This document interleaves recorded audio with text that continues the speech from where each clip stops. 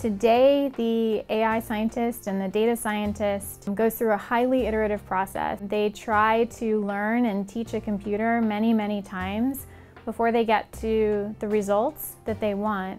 And our goal is to make AI algorithms, and in this case especially deep learning and other machine learning technologies, uh, go as quickly as possible, go as quickly as we can provide through systems design and software innovations. Some of the types of innovations that we're uncovering to help speed up AI technologies could eventually end up into hardware in the future to make systems that are overall better at executing cognitive work. All of those things, the faster you can do them means the faster that the consumer experiences more accuracy in their pictures being labeled, more accuracy in speech recognition in the case of noisy environments or if you have an accent. We are able to accelerate the time that it takes to get innovations from researchers' hands into the hands of customers. And so this software is going to be available now to customers on a trial basis. In some sense, the AI over time will grow up. It'll become more intelligent. It will become able to do more things. It'll become higher functioning. And that also increases computational complexity usually.